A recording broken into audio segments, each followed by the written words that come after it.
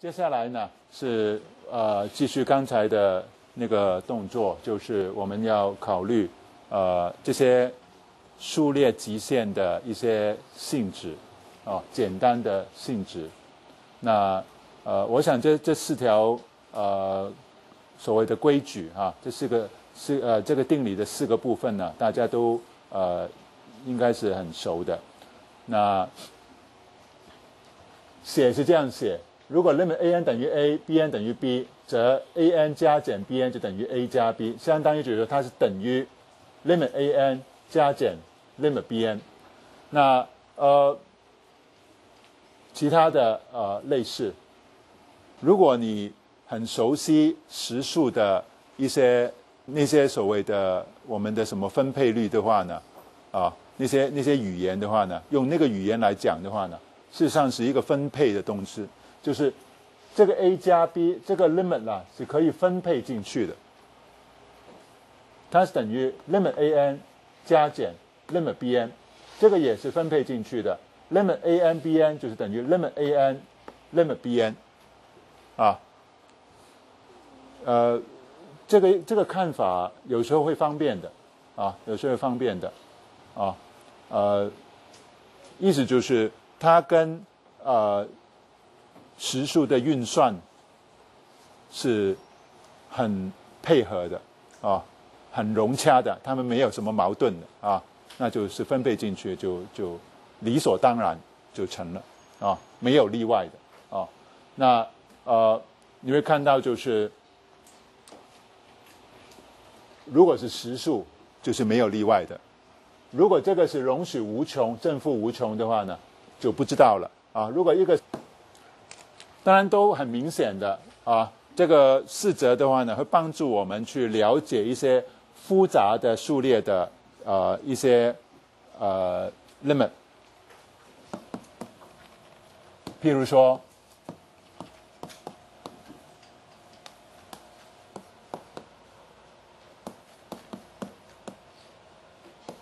如果我 alpha beta 是两个实数，那呃。这样子乘又乘又加，那个 limit 就会是等于啊，就是这个 limit 好像会分配进去一样，那就啊变成 a 跟 b，那就是 alpha a 加 alpha b。呃，另外一个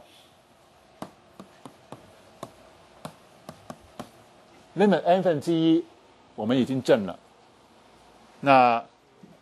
N 平方分之一，按道理，当然同样的方法，类似的方法要证也不难，但是已经不需要了，因为我们有这些规则啊，它是等于 limit 的 n 分之一乘以 limit 的 n 分之一，因为各自都有 limit，所以是一个零乘零就是等于零，啊，就可以利用我们的 c 部分做出来，对不对？那同理呢？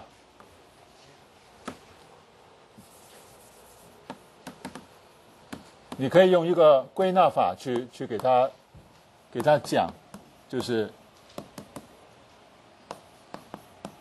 随便的一个 k 方，k 是呃正整数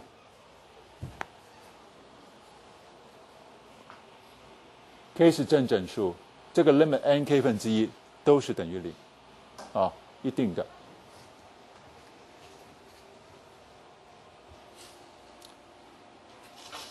好不好？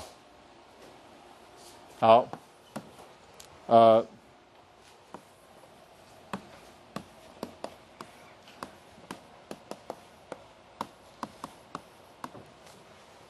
比如说是这个，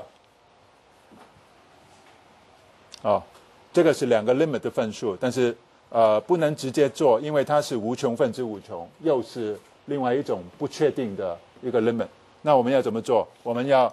分子除以 n 平方，分母除以 n 平方。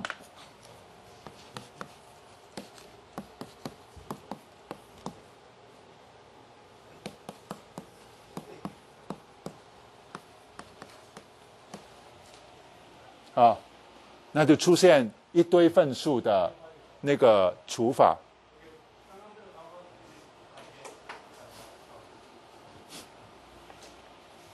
啊，一堆份数的除法，那呃，喂喂，那就每一个 limit 呢都有清楚的，这个是零，这个是零，所以呢合起来，呃，这个这个也是 n 平方哦，哦，n 平方分之一，那所以呃，结论是什么？就是一分之零。哦，这个大家应该应该都都都熟悉的。那好了，那所有这些的一个合并，呃，譬如说，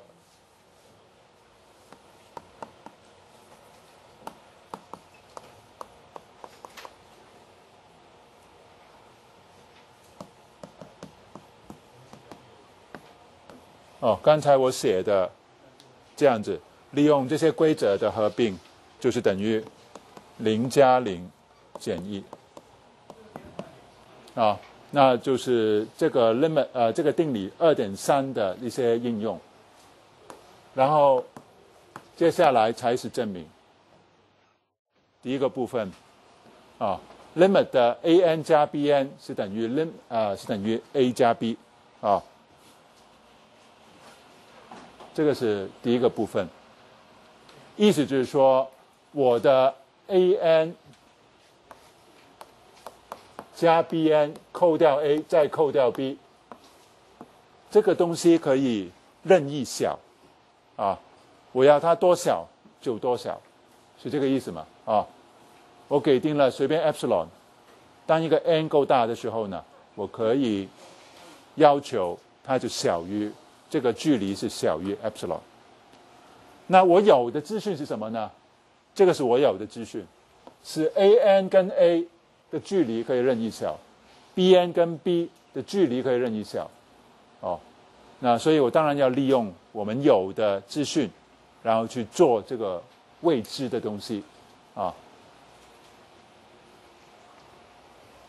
所以我想应该是很清楚的，这个是等于呃。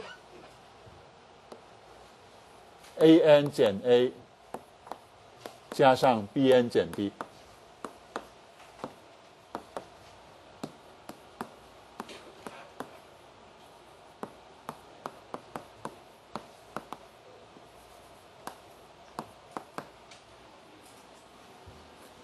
啊，你利用啊一些三角那个所谓的三角不等式，我们会得出。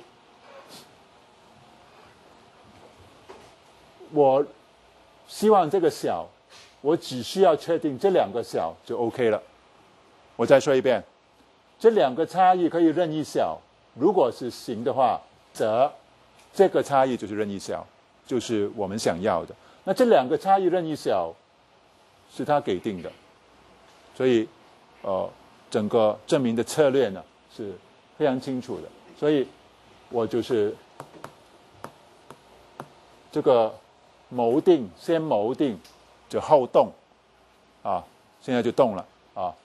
那我就有一个 n 一，啊，我开始懒惰了啊，呃，所有的 n 大于等于 n 一，我的 a n 减 a，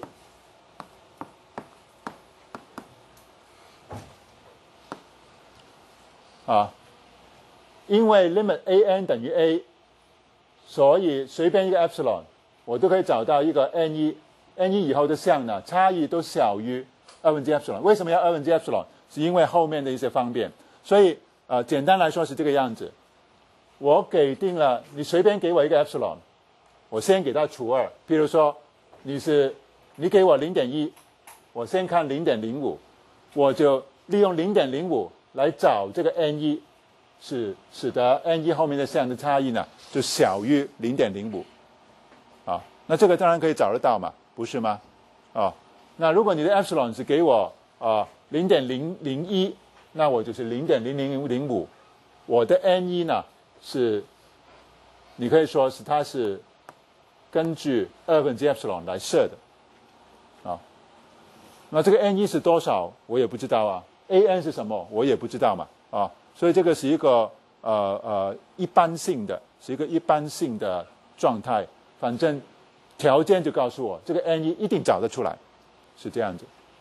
好，嗯，这个是 a n 的状况，那 b n 的状况也是一样啊。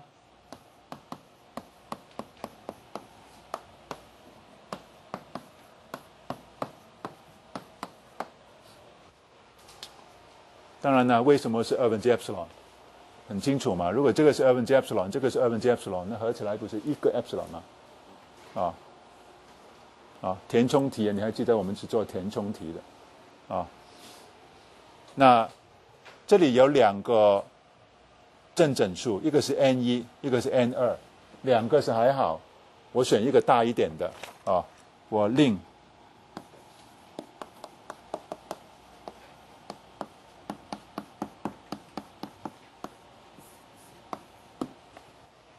n 是这两个数比较大的，它当然是一个正整数啊。那所有 n 以后的那些整数呢，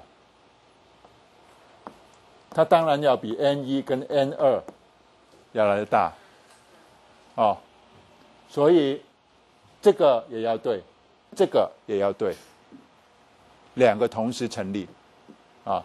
满足这个条件的 n，两个同时成立，那就成了。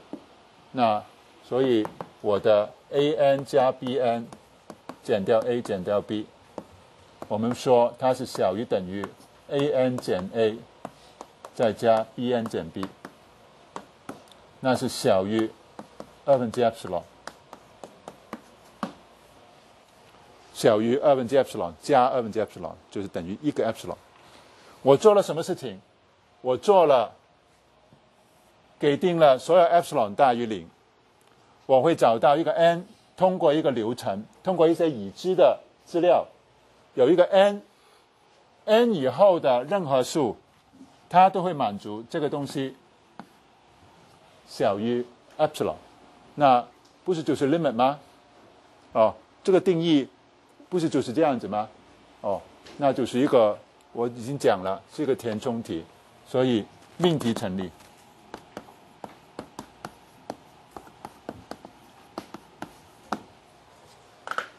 减相减的状况是类似的，这边也要减，那差异在哪里呢？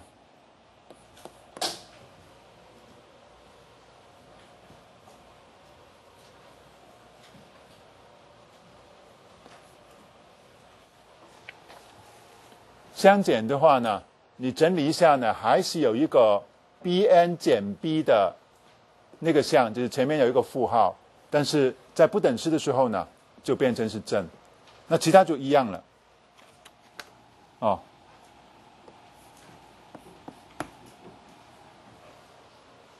其他就一样了，没差的，哦，这个证明上面是。好，b 部分，呃。要分两个 case 来处理。啊。第一个呢是，嗯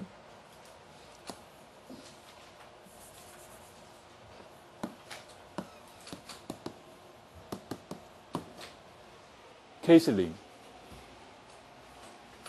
啊，case 零是 trivial 的，因为左边就是零。啊，呃，每一项就是零。那这个 limit 当然有啊，就等于零嘛，啊，是一样的啊，所以呃，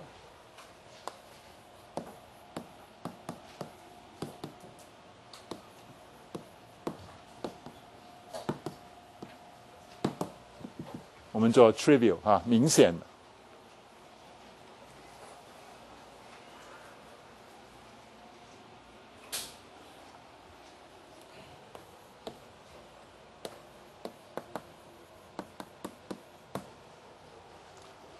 果 k 不等于零，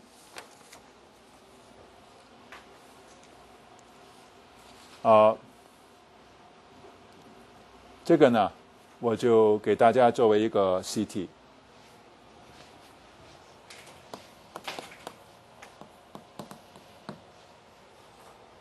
啊，那我给一个给一个 hint 啊，我希望是什么？我希望是。K a n 减掉 k a，它的差异是任意小。那呃，你先谋一下啊，先呃呃设计一下，这个是等于什么？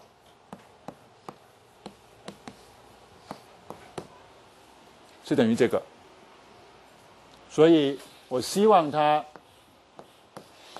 小于 epsilon，有没有可能呢？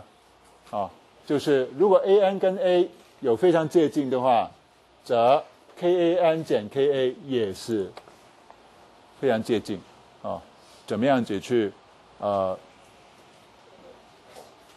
类似？A 呀，或者是类似其他的来设计这个，这个是比较简单。事实上，这个这个是简单的了，已经，呃，如果你熟的话呢，啊，啊，呃呃，三行就写完了啊。那，啊，那 C 跟 D 呢都是比较精彩的，啊，C 部分，我先谋一下，两个数列。各自有 limit，那他们成绩也会有 limit，这个 limit 就是各自 limit 的成绩，啊，那我先谋，先策划一下，我希望这个可以小，啊，刚才呢，我们加的时候呢。一掐一出来，三角不等式就做完了啊！你就做出来一个非常好的一个呃一些项哦，每一个项呢，你都知道它可以蛮小的。现在这个啊，a n 很接近 a，b n 很接近 b，那 a n b n 当然应该是接近了，对不对？啊，但是呃，我们有的。是这个跟这个，你怎么做？那这里呢有一个重要的技巧，这个技巧叫做谁知道？这个技巧叫做加一项减一项，哦，或者是减一项加一项，怎么说呢？先减这项。再加回自己，没变，所以这个等号没问题。那这个项的选择，一半像这个，一半像这个，这样子的话，它们只有共通项。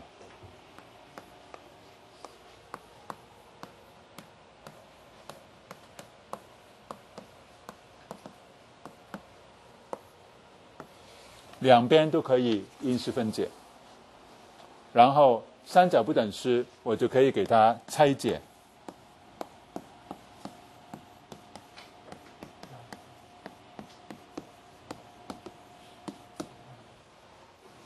三角不等式我是可以给它拆解，对不对？好，那我知道这个小，这个也小啊。拆解出来呢，有两个部分呢，是我们熟悉的，它们可以任意小。那其他的部分呢，会不会小？不一定啊。b 会不会是很小的数？b 是任何的 limit 啊，它可能是，它可能不会很大，但是不见得会小。但是不大就 OK 啦，因为我这边小啊，就可以就可以给它所谓的压下来啊。那这个 a n 呢，反正它是固定的数，a n 是比较麻烦的，它是有很多不同的量。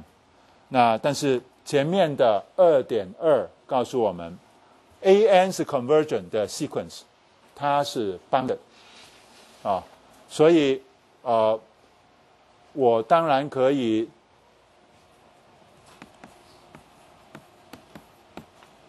二点二告诉我们，呃。a n 是 bounded，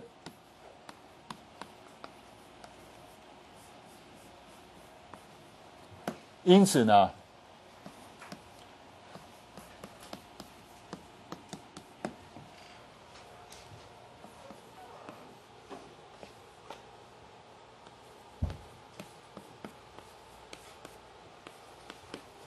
我一定可以找到一个 m，所有的 a n 比 m 小，那我加一个 b 比 m 小，当然没有问题啦。我就将 m 需要的话再弄大一点点啊，就是呃，这里应该有一个上界，那这个上界跟 b 的最大值就是我的 m，那就 OK 了啊。那所以呃，我这里呢是可以。小于 m，然后 a n 减 a，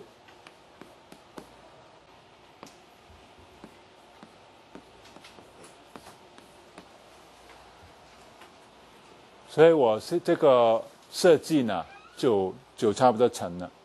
我这边可能不是太小的数，可是它是有上界，啊，那其他的是这两个是一个很小的数。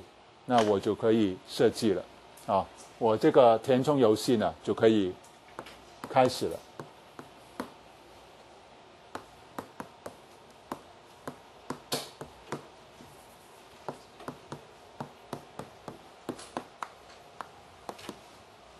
那我希望总的来说它是小于 epsilon，那你就设计啊。我的 n 一呢是针对。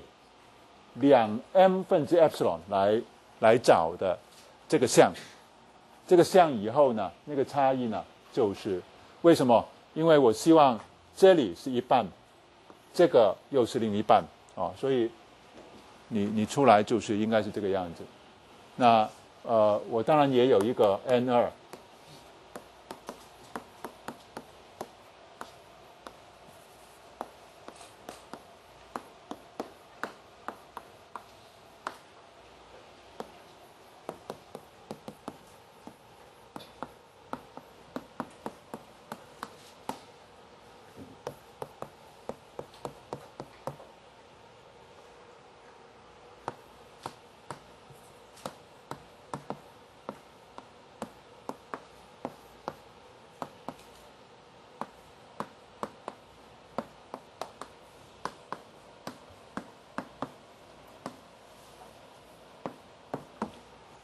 那利用刚才前面的那个推导，我当然可以这样子做，就是 n 是 n 一 n 二的较大的那个数，然后 n 以后的那些项 a n b n 减掉 a b 要小于等于 m 乘以 a n 减 a 的绝对值，m 乘以 b n 减 b 的绝对值，两个合起来，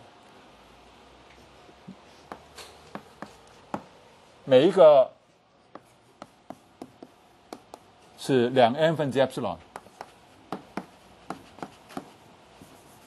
两 n 分之 epsilon，那这个是绝对小哦，啊，那我们这些不等号呢都是非常小心的，有机会相等就有机会相等，如果没机会相等就绝对小啊，那因为这边是绝对不等式，所以乘起来呢这个也是绝对不等式，那合起来当然就是一个 epsilon。那就做到了，啊，就做到了。所以随便一个 epsilon，我的填充游戏，我有一个 n，n 以后的所有项 a n，a n b n 减掉 a n 就要绝对小于 epsilon，啊，那这个对每一个 epsilon 都对的，所以我的 limit。就成立了。好，那这个问题的 trick 就是在减一项加一项啊，这个差异可以任意小啊，这两个份数的差异可以任意小。那做法呢？也是，呃，也是很呃蛮重要的。我要了解它那个差异呢。通分母啊，对于分数来说，通分母是常做的事情，啊。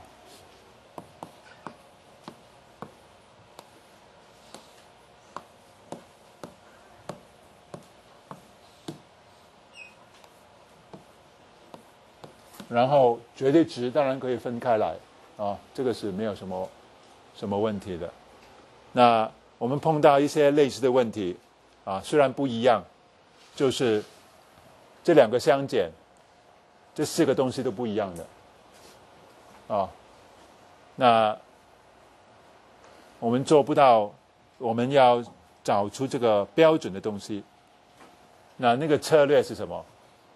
也是一样，减一项，加一项，哦。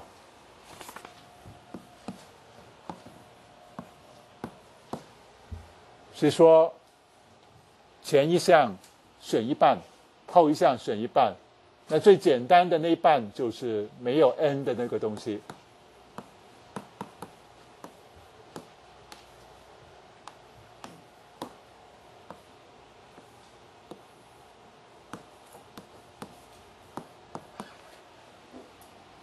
这样子。然后我们再考量这个所谓的。三角不等式。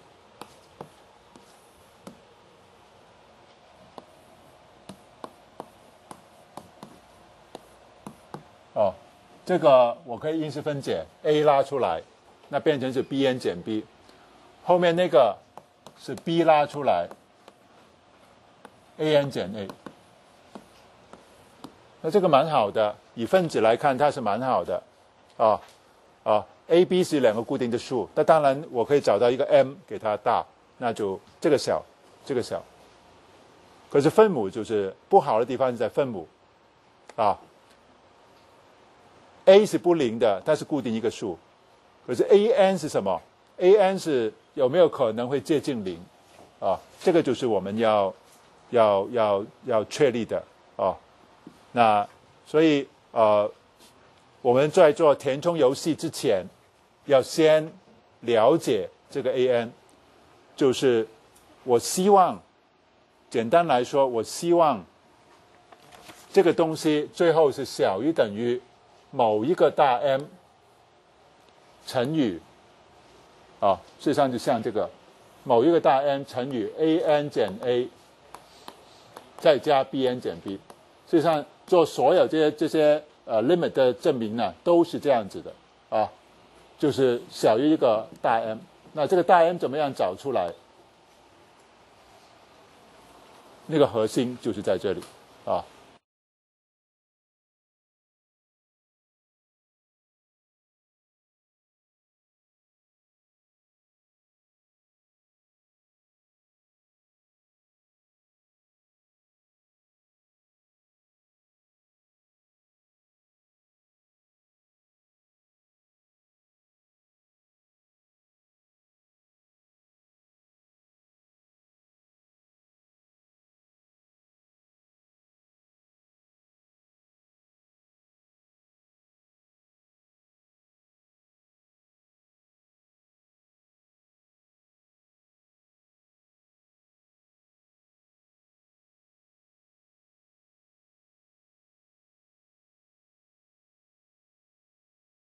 好，我们先有一个图画来看一看。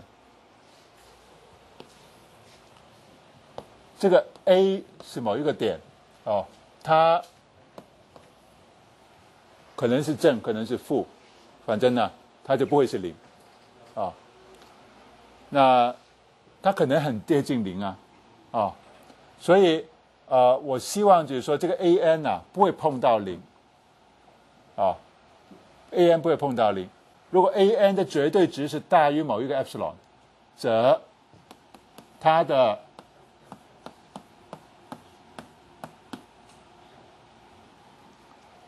导数就小于 epsilon 分之一，是这样。哦，啊，那我这个 epsilon 分之一是这个。我叫做 epsilon，但是事实上是一个在这里是一个固定的数，它不是变的，它是固定的。那呃，那我这个大 M 呢就乘，啊，就成，呃，好，好了，问题是 epsilon 是什么？它是零点一吗？还是零点零一？那这个都不一定对啊，因为这个 a 可以是，我们 a 根本就不知道，所以呢，呃，我们希望就是 a 附近的一个小区间，啊，那这些 a n 呢，都在里边，起码尾巴都在里边。那如果是这个样子，它跟零的距离就是一定超过这一段，对不对？啊，那就做完了。好了，那这个这个的，好了，那这个区间怎么选？我选零点一吗？还是零点零一？还是更小？啊，呃，事实上选什么都不大对的，因为。我不知道 a 是什么。如果他选零点一的话，a 是零点零零一啊。如果这个 epsilon 选零点一的话，我这个 a 是零点零零一，那它的零点一的范围不是就包含零了吗？啊，就不行的。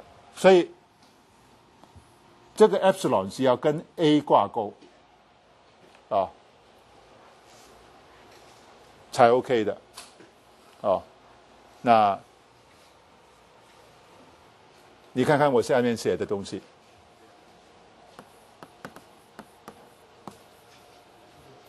结果呢，我选这个范围是 a 的一半，这个 epsilon 呢是 a 的绝对值的一半。啊，好不好？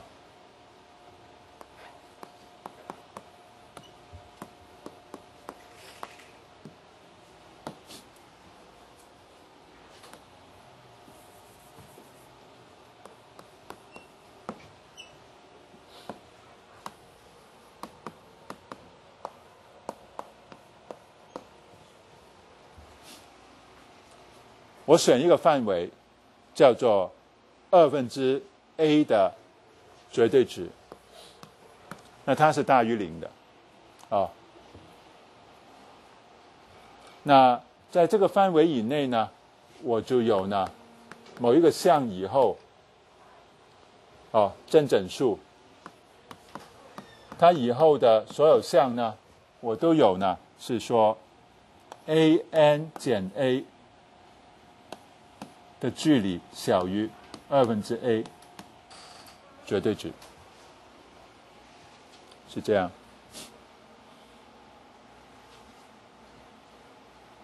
然后呢，一个三角不等式，哦，是要它大于哦，我大于这一个，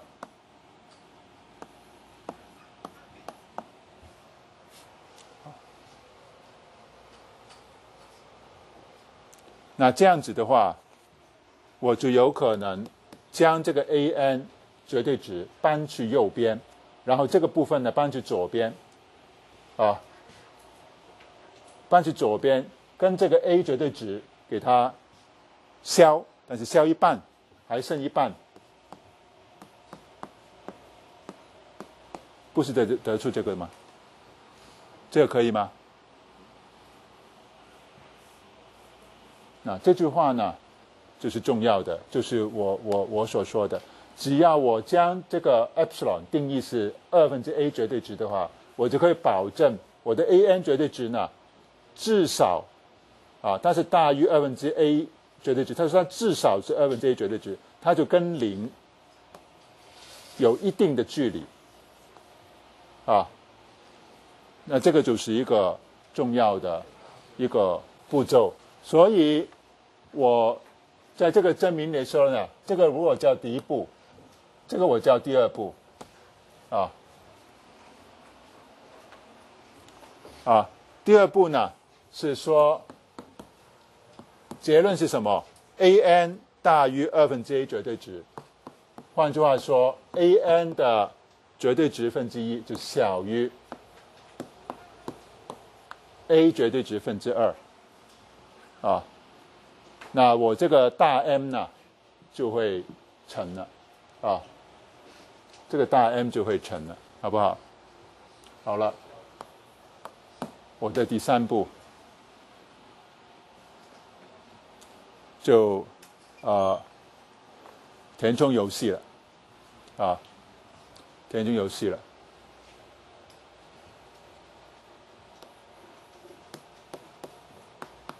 在这里呢，我的大 M 是什么？是 maximum 的这个呃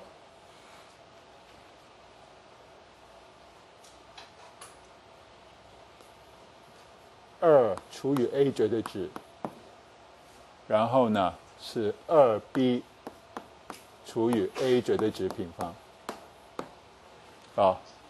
我将 a 分之一呢是套过来啊，a 分之一就是用这个带进去，带进去这里，所以这个是 a 分之二，是 a 绝对值分之二，那这个 a 消掉，所以剩下来是这个，而这边的系数呢是 a 分之二，所以是二 b 除以 a 平方啊，就是这个 a n 减 a 的系数。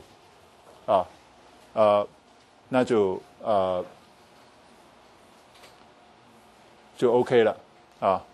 那这个这个狮子呢，我叫一。好，填充游戏开始。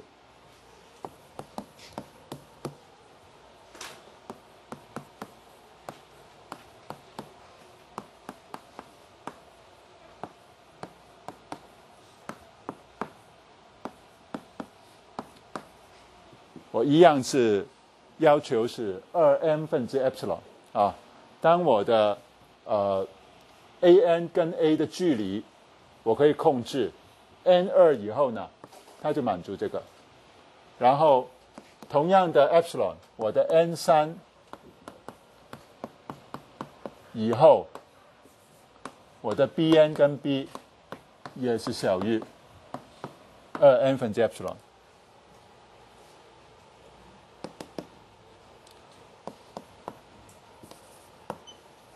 所以，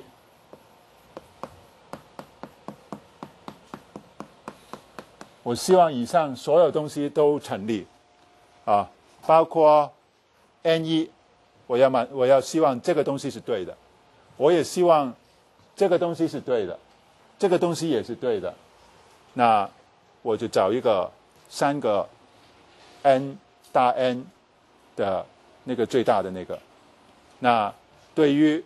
每一个 n 以后的东西，我的呃敌式呢，就说我们有 a n 分之 b n，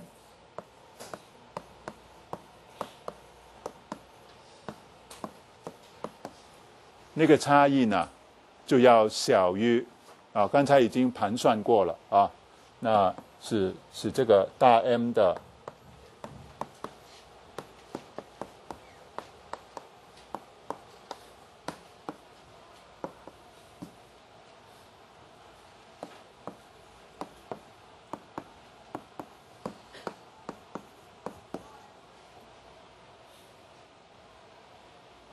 我想不用写那么多了，每一个都小于两 n 分之 epsilon，所以合起来就是 n 分之 epsilon，这个是绝对小的，那就完成了，哦。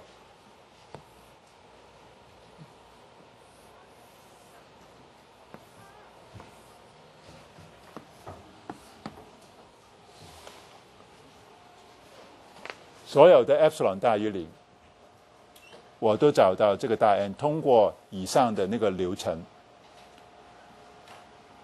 大 N 以后的 N 都会满足它的差异，绝对小于 epsilon。